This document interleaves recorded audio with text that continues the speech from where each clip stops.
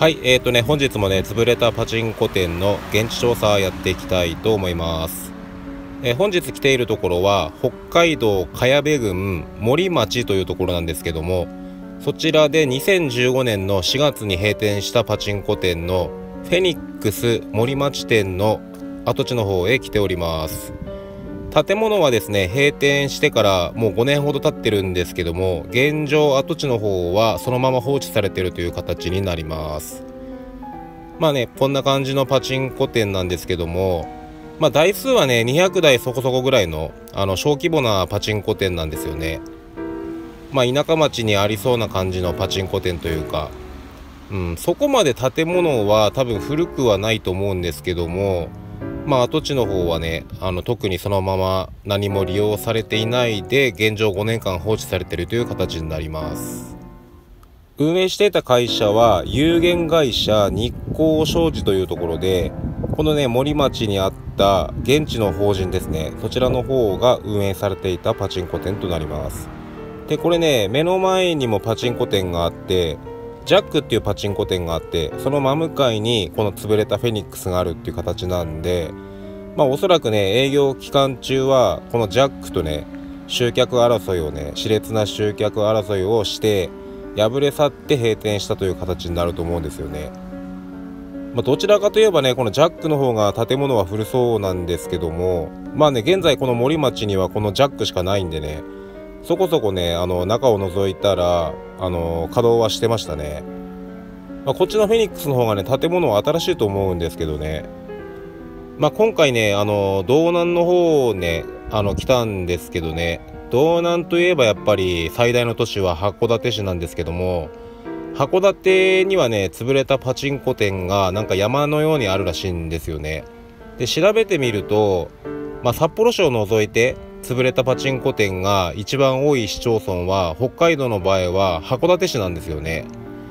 でこの森町は、まあ、函館からね比較的近いところで、まあ、函館都市圏というんですかねそういった場所になるんででここはね特に森町の中心部の辺り、えー、JR の森駅もすぐ近くにあるんで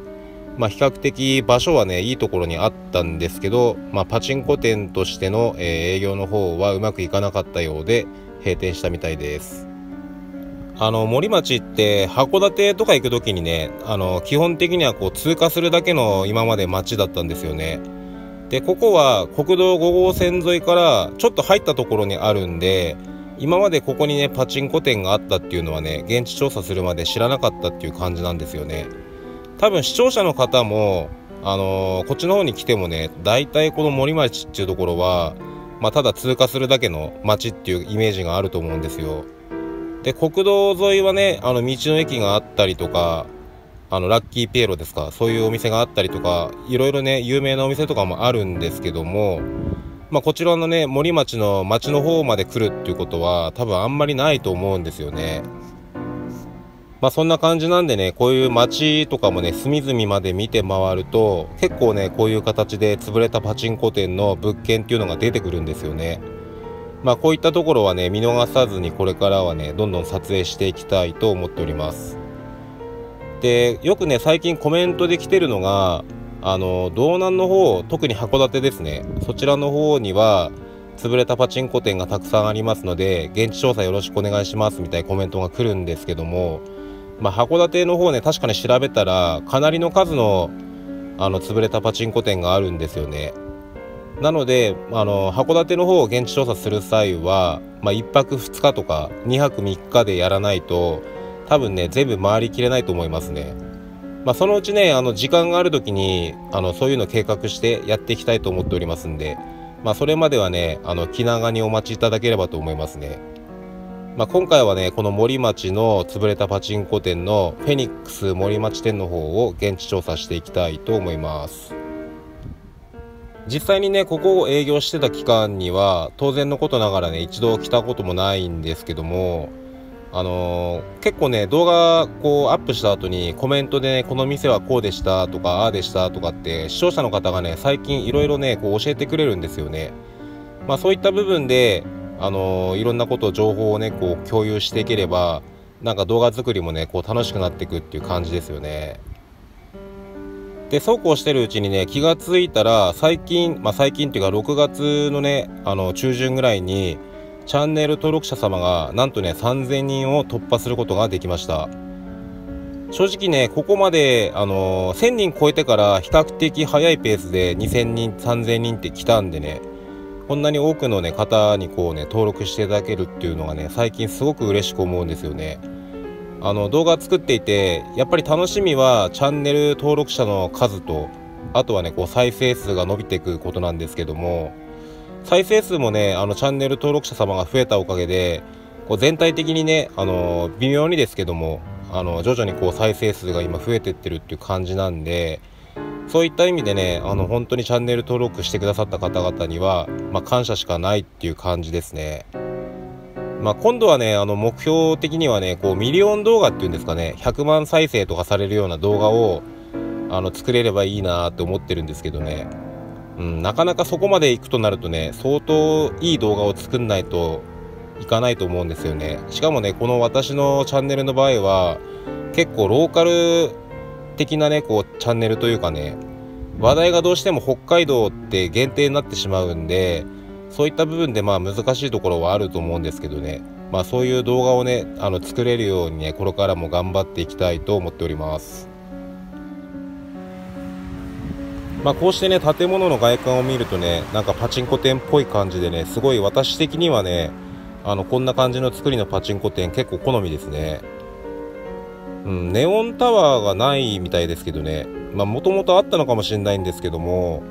現状今ないっていう感じで。うん、ただまあ建物はねあのそこまでほんと古くないんで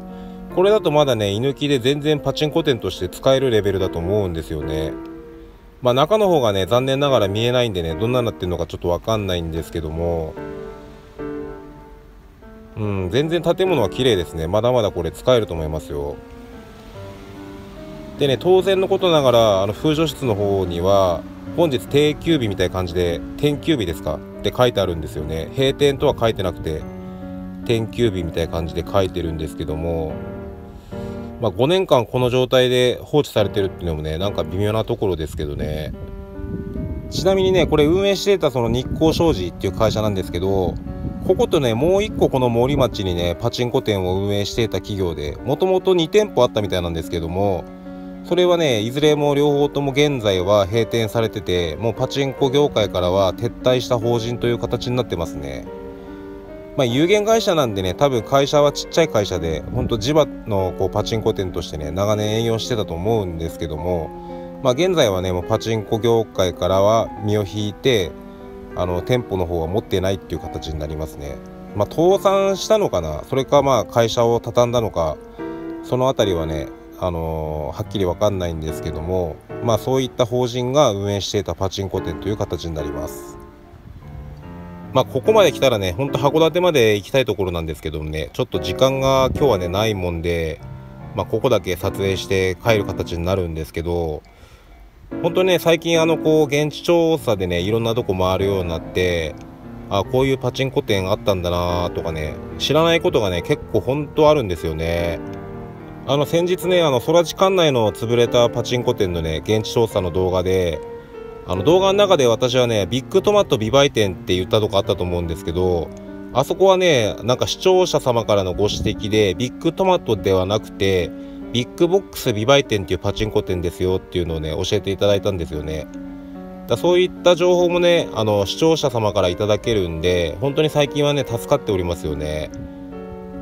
あのやっぱりねこうネットに載ってない情報とかって地元の人しかねこう分からないこととかあるんでこれからもねなんかそういう動画作って間違ってることとかあればそうやってご指摘いただければねまあ動画の方はねもう訂正できなくなっちゃうんで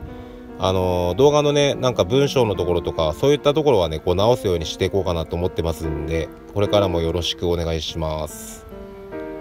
はい、えーとね、そんな感じで今日は、えー、潰れたパチンコ店現地調査の、えー、道南の北海道茅部郡森町にあった潰れたパチンコ店の